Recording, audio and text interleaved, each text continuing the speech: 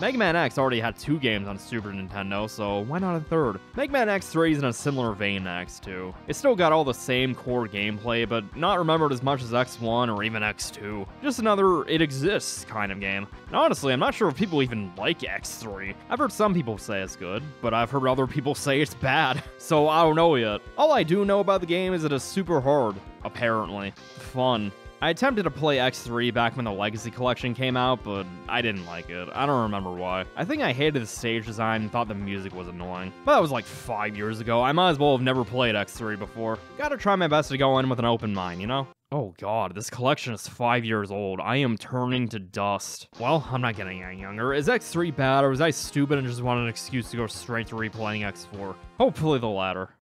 Okay, I'm gonna be honest. After having just played the game, I don't remember the plot at all. So, spoilers, this plot barely exists. Not that it matters. Anyway, this dude named Dr. Doppler figured out how to suppress Maverick tendencies to prevent Reploids from going Maverick in the first place. This clearly doesn't work, and Dr. Doppler makes a cult in a place called Doppeltown, a perfect utopian community. So you know it's awful. All the Mavericks that are supposed to be neutralized started rioting, and X and Zero have to go stop them. Headquarters of the Maverick Hunters gets raided, and they try to set up this you can't trust anyone kind of subplot, but it doesn't go anywhere, and I have no idea who this Mac guy is. Let's say he's Steve Jobs. Mac kidnaps X and you get to play Zero to go rescue him. It's so sad that Steve Jobs died of Ligma. Yeah, this is the first game where you can play as Zero, and it's not as cool as it sounds. This is not Mega Man X4 Zero or Mega Man Zero Zero. Zero in X3 is exactly the same as X, but he has full health and a fourth level of Buster Charge that has him use a Z-Saber, and it kills basically everything. The way it works is that you can call Zero anytime by pressing R on the pause screen. I figured it's basically an easy mode unless you get past more difficult sections early on. That's fine. I tried switching a Zero to fight Blast Hornet, knowing I could easily win if I had a little more health, but it turns out that you can't use him during boss fights, so I don't know what the point of this is. On top of that, if Zero dies, he dies permanently. This dude has a permadeath mechanic attached to him, and suddenly, I don't care. I completely forgot that you can play as him by the end of the game because there's really no point in doing so.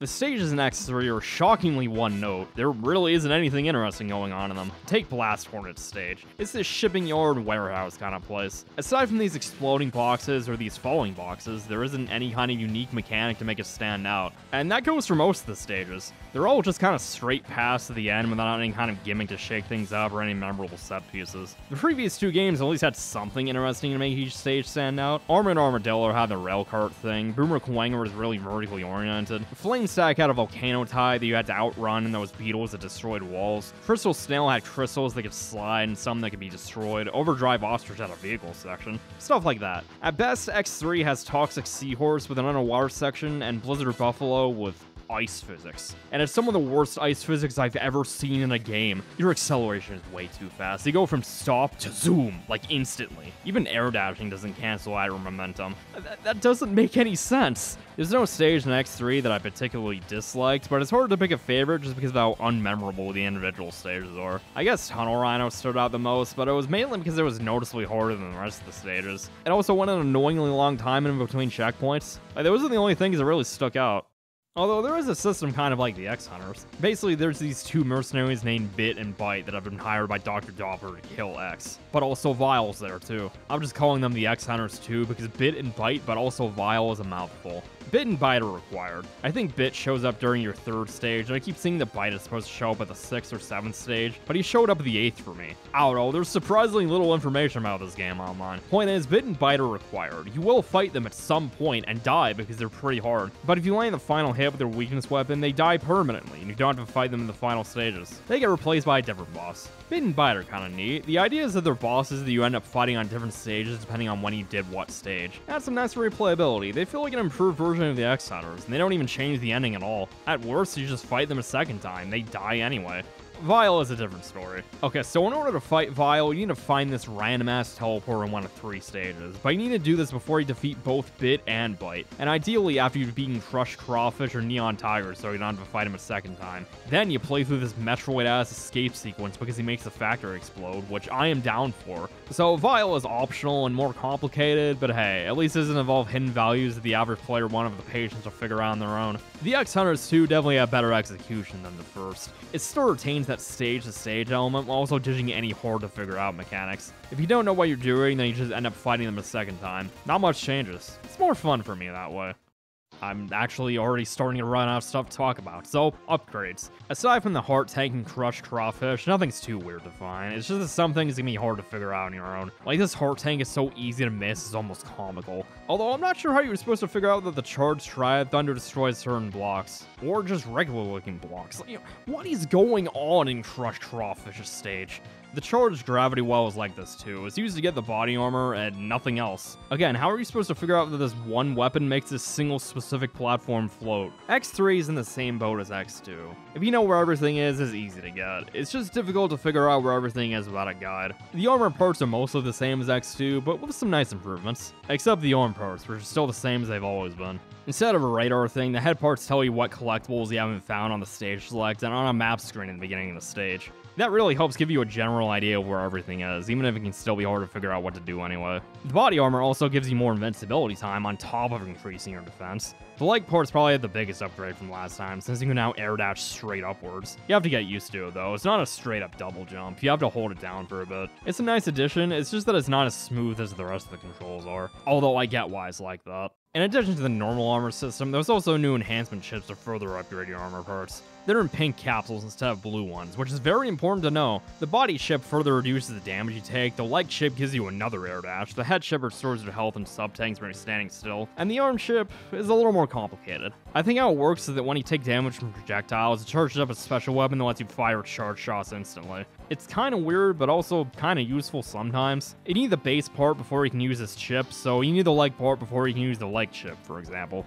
The catch for all of this is that you can only use one at a time, so you have to pick which one you like most based on your preference. It's a cool system that completely falls apart in practice. Because what the game doesn't tell you is that if you get all four blue capsules, all eight hard tanks, all four sub tanks, and all four ride armors, I'll get to that in a bit, and go down this hole in the first Doppler stage with full health, then you get access to the hyper chip, which just gives you all four chips at once. So, if you know about this, there's no reason to use any of them. Because here's the thing, each one's useful, yeah, but they're not useful enough on their own to make a difference before the Doppler stages. By the time any of these start to make a difference, you can just get all of them. There's an objectively correct choice, which undermines the whole point of only being able to use one at a time. It feels like those people that use all three starters in a Pokemon game. Sure, there's a risk versus a reward. You'll either get slightly stronger now or become god tier powerful later, but again, they won't help that much until you can get the Hyper chip, so why bother using any of the other chips? Granted, I'm pretty sure this was supposed to be a secret. Like, this is the most playground rumor-ass thing I've ever heard. Up there with jumping off this random legend Armored Armadillo multiple times, get a Hadouken that one-shots any enemy in the game. This series gets insane, man. And the only reason why I got the hyper chip was because I knew about it. It was one of the few things I didn't know about this game. But when you know that you can do this, there's no reason not to. The only annoying part about the hyper chip is that it also requires you to get all four ride armors, something that is otherwise useless. Unlike the other games where ride armor is just something that you can find in the stages, you have to unlock them in X3. So whenever you find an armor station, you can use any ride modules you found. But first you need to find the Chimera armor and Blast Hornet stage, which also requires you to beat Tunnel Rhino. Then you can use up to four different ride armors. The problem with this is that there isn't really much of a difference between them. The standard armor is basically the same as the next one, not much to say there. With the Kangaroo armor, I don't know what the difference is. It seems to jump about the same height. Maybe the punches do more damage? I have no clue. The Hawk armor shoots homing rockets instead of having a punch. Neat. It also has an air hover if you hold down the jump button. Wait a minute, didn't the ride armor next do have those spike punches? Because it could also hover in the air. Did they just split that into two separate armors? Why? Once you get Kangaroo or Hawk, there's no reason to use the normal armor, and each one of those is just a worse version of what was the next two. The Frog armor at least works underwater, but it sucks on land, so it's just situational. It's used in like two places. I don't know what the point of the Chimera armor is. Ride armor was fine before. They're not even used to get any upgrades, except like two heart tanks, but you can use any ride armor for that. You don't need the specific ride armors for anything. I think you're supposed to use the Hawk armor to get the head chip, but even then, if you got the leg parts, it's pretty easy to just air dash to it. These armors only use to get chips, which again, you can just get the hyper chip instead. These things just feel like busy work, you really don't need them. The end game this time is a bit of a weird one, because unlike X2, I use a guide the whole time, so I did everything. I killed every member of X Hunters 2 and got the Hyper Chip and the Z Saber. Yeah, for some reason, if you switch to Zero and kill this unassuming mini boss as Zero, Zero goes out of commission for the rest of the game, but X gets the Z Saber. A fourth level of Buster Charge that kills every boss in like two hits. Keep in mind that this is the only boss in the game that you can even fight as Zero. How are you supposed to find this? Again, I don't know because as it turns out, when you have both the Hyper Chip and the Z-Saber, the endgame is a complete joke. You take very little damage, you can refill all your sub-tanks by standing there. Double air dashes really help with the trickier platforming, and the only boss that's kind of hard is the second Sigma phase. And that's only because his hitbox is so small that it's really hard to land the Z-Saber shot. I heard X3 was really hard, but as it turns out, you can make it the easiest X game so far. I'm sure it's much harder without all those extra super upgrades, but I actually kind of liked how much of a power trip it ended up being. For most of the boss rush, I didn't need weapons. I just needed a Z-Saber. Not that I use them that much anyway. The Spinning Blade was just about the only consistently useful one. Plowing through everything in my path was actually pretty fun. Like, I'm glad I followed a guide this time. This was the ideal X3 experience for me.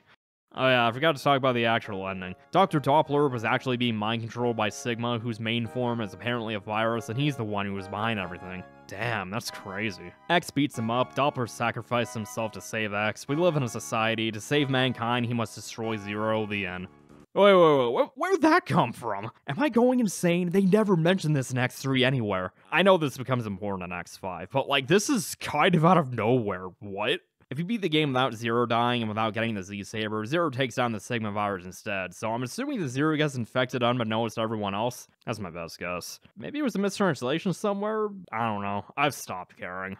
Also, why are there no staff credits? That's so weird bullshit. People worked hard on this. I don't care about what the enemies are called. Who made this Capcom? I wanna know. They did a great job. At this point, the only thing left to talk about are the ports of these games. Okay, I lied. I said I was going to talk about this during X2, but then I remember that X3 is a PS1 version for some reason, so better talk about it here. Which, by the way, wasn't released in North America. Uh, it was released in Europe and Japan, but not North America. You know, it's pretty funny that it starts off with an anti-piracy PSA because I literally couldn't play it in English otherwise, at least on PS1. Anyway, I don't like this version of the game. The graphics are untouched, that's fine. But they went and replaced most of the sound effects, and it's not like it was all the original sound effects at a higher quality. No, these are brand new. They just don't have the same impact as the SNES sounds. Just listen to the boss doors closing. The music definitely has it worse. They made new remixes for all the tracks in the game, and they are not faithful at all. Here's Blast Hornet's stage.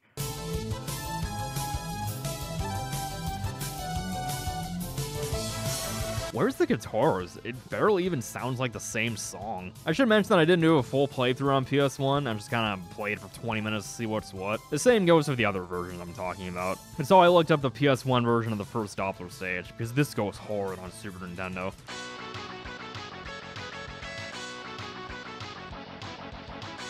But then you get to the PS1 version, and it sounds like this, and it's just so weird. Did they even listen to the original tracks? The PS1 version also has FMVs for the boss intros, which is cool, but they also forgot to explain the story. There's this whole intro cutscene on a Super Nintendo that tells you what's going on, but on PS1, they just skip straight to the raid on the headquarters of Maverick Hunter. What's happening? Please explain to me what's going on, I'm begging you. The PS1 version is a pretty neat curiosity, but it's the worst version of the game in my opinion. You even have to deal with PS1 load times. It's not a bad way to play the game, but with how easy it is to play the Super Nintendo version, just play that instead. You're not missing much going out of your way for this. Next up, we've got the X Collection on PS2 and GameCube. I heard this collection was bad, but I don't know why. the main thing I heard about it was that it had awful input latency, but it doesn't. The input lag is fine. It's about as responsive as you'd expect it to be. And keep in mind that I was playing the GameCube version on an HD TV through two rounds of capture card pass-through. This is like the worst case scenario for this kind of thing, and it felt fine to me. The X collection has X1 through 6, including the PS1 version of X3, and they added save data to X1 and X2. I don't personally like that version of X3, but I fail to see how this is a bad collection. They even removed the slowdown in the SNES games and improved the load times of the PS1 games. I also really like how they updated the SNES games logos to be more consistent with the PS1 games on the game select screen. It's a weirdly nice touch. Like, if this was 2006, I would tell you to play this release, because as far as I can tell, it's the best version of these games after that point, one complete package. But this isn't 2006, and you probably shouldn't play it unless you emulate it, because this game did not agree with my TV at all. The signal would randomly cut out constantly, and it even looked like this on my capture card, even though it looked fine on my TV. Other GameCube games using the same setup looked fine, so I don't know what's going on with this game. I'll be honest, this footage does not look good, but it's the best I could do. I'm assuming it's because it's playing the game in 240p mode, which is the same resolution as the original games. But modern TVs don't seem to like that, so this happens. This kind of stuff happens sometimes when you play on a display it wasn't designed for. Stuff like this is why CRT filters exist. That's probably my only real issue with it. It would have been nice if they upscaled the games to 480p. I think Resident Evil 2 did that. If you have a CRT, there's nothing wrong with this collection. If you emulate it, there's nothing wrong with this collection. But realistically speaking, you'll probably be playing the X Legacy Collection. This is the most recent release of the X games. It's just about the best way to play these games, but I played X 1 through 3 on BSNES instead, because XLC doesn't have integer scaling for some reason. Like, look at this. You can't usually tell that much, but Mega Man is one of the few games where you absolutely can. The health bar segments are uneven, and it just looks gross. This is the default, and you can't turn it off. Like, you go into the screen settings, and... Uh-huh. How, how long has this been here? The game's still on 1.0.0. It never got updated. It's been here this whole time? Are you telling me that I emulated these games instead of using an official release because I was too lazy to check if it had this? I swear I'm going insane. It didn't used to have this. You have to believe me. Now that I'm mentioning this, does anyone actually care that I emulated these games instead? It's the same game in the end of the day. Well, I should be talking about the X Legacy Collection. So, these are the best way to play these games then. It still has the SNES slowdown because it's emulating all the games, but it's not really a big deal. The only thing it's missing is save states. Like, seriously, just do what the first Classic Legacy Collection did and give us a single save state if we need it. It kind of adds save data to the SNES games by letting you save a password, but it doesn't save how full your sub tanks are or button mappings, which are really irritating. You also can't use the back triggers in the SNES games for some reason. Surely it can't be that hard, right? I can do it on BSNES, I can do it on SNES 9X, I can do it on Wii U Virtual Console. Why not here? They didn't fix this with the Zero Legacy Collection either. You can change the button mappings in the console's home menu, but you should need to do that on a system level. It's also weird how they didn't include an option to play the PS1 version of X3, even though they have a PS1 emulator in the same collection. Maybe they didn't think enough people would care but it's still a weird thing to leave out. These issues are fairly minor, though. I don't really have much to say about this. Video game's good. Just remember to turn off the Vaseline filter. Like, seriously, what's with collections insisting on using screen filters for pixel art games? It always looks bad. No, Capcom, I'm not impressed by your high-resolution filter. It just makes it look worse. Anyway, I was planning on using XLC for X4 onwards because of the faster load time, so the fact that I'm an idiot doesn't really change anything past this point. Let's circle back to Mega Man X3. I was surprised by this one. While the moment to moment gameplay has been there, done that at this point, the overall package was pretty enjoyable. What can I say? I had a fun time finally getting to this one. I think I liked it more than X2, actually, which is pretty funny. I didn't like the game back when I first played it, so I wasn't looking forward to getting to this. I had a bit of a let's get this over with kind of mentality in the back of my head, but once I sat down and gave it an honest chance, I had a pretty great time. It's kind of a shame that barely anyone talks about X3 because there's a lot of fun to be had here. Although maybe people people tend to skip over this one because of how damn good X4 is. But we'll get to that next time. So until then, it's been fun. Take care, everyone.